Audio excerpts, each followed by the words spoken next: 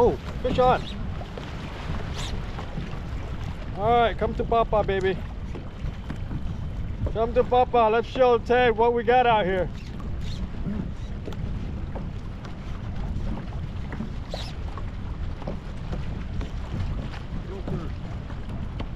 Come on, baby.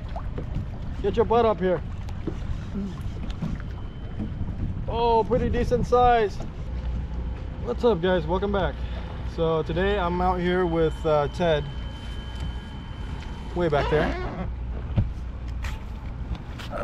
And uh, wanted to show him uh, how it's done here, out here. But at the same time, I want to share with uh, you guys some more uh, tips. And you're probably wondering like what what's there to show? It's just a hook and a bait. Well, that is mostly true. Um, I want to show you the setup that I use. Um, sliding sinker uh, hook. What kind of hook? And um, let's see if I have. So this is the kind of hooks I use for sheep heads out here.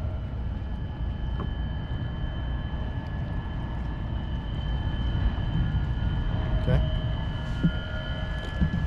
Not sure if the camera can capture that clearly or not, but it's uh, it's old school eagle claw, and uh, they don't even have the size on here, but it it uh, it's size two, so not too off, but size two. First step, anchor. Drop your anchor down. Yeah, so the way that sheepheads eat, um, they like stationary food. So uh, if you're trying to catch sheepheads and you're trying to troll for it, you're never going to catch them. Uh, second thing is if you're drifting, chances are it's a there's a high chance you're not going to catch them by drifting and dragging your bait either. So the best way to get them, anchor. Step two.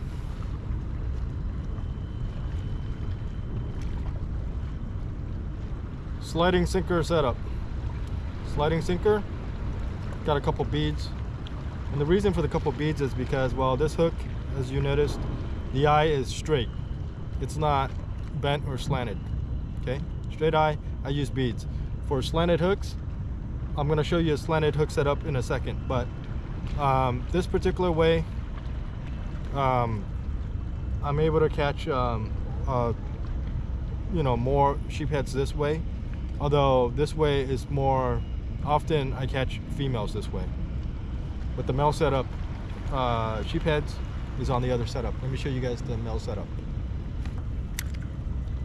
Drop it straight down. No need to cast out here. I call this the male setup sheepheads.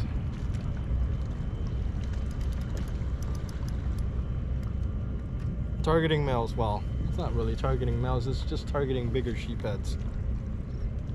This is the setup. This is the setup I use.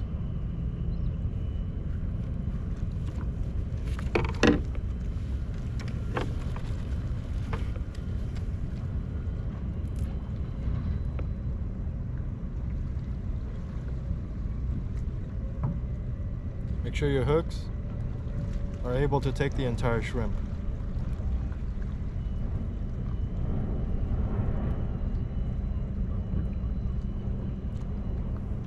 This is what I do. Uh, you guys can look up on how to hook up shrimp. But this is what I do. And now, the weight game. Five hours later. Oh, fish on. Alright, come to Papa, baby. Come to Papa. Let's show Ted what we got out here.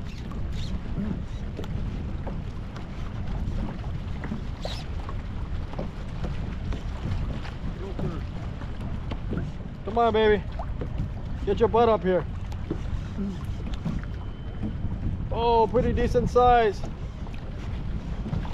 Decent size. This one is, whoa, what is this? It's a sheephead. I think that's a keeper. It is a keeper, bro. Look at it. Yeah, I see it now.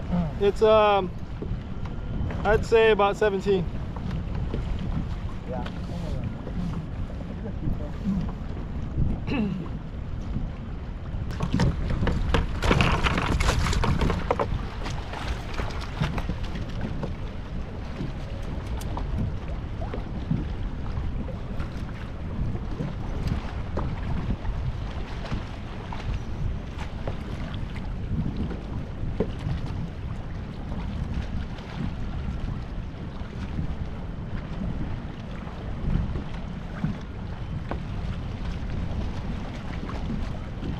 Sixteen. Try out a new spot as well, maybe a couple new spots, um, just to see if I can find other areas where fishes are uh, hiding at.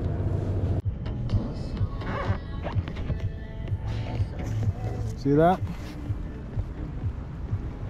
Where there's smoke, there's fire. So wherever there's sea lions, there's fish.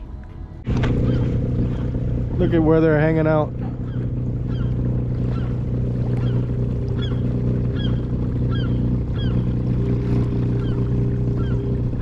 So, like I said, where, where there's smoke, there's fire. I mean, these guys got to eat something around here. So.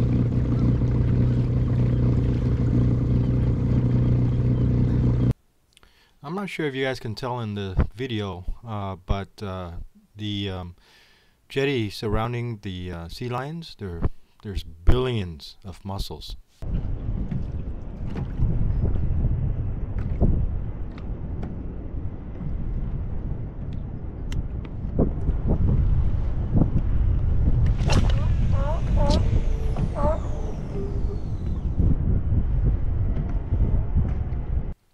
So I did that for about an hour, and um, I hooked onto something uh, big. Um, as you know, uh, it's a drop shot setup with the uh, Berkley Gulp mullet.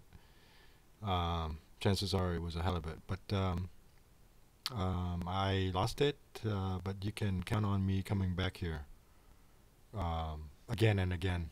All right, that wraps it up for today, guys. Thanks uh, for uh, tuning in. Alright guys, so uh, uh, unfortunately I only caught one sheephead today.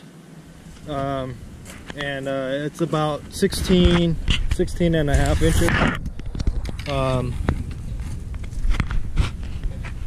yeah, so uh, 16 and a half. And then um, Mr. Ted here caught a sand bass that's 16 inches. So uh, I'm gonna give this uh, sheephead to Mr. Ted, um, and uh, I hope uh, him and his wife can en enjoy it.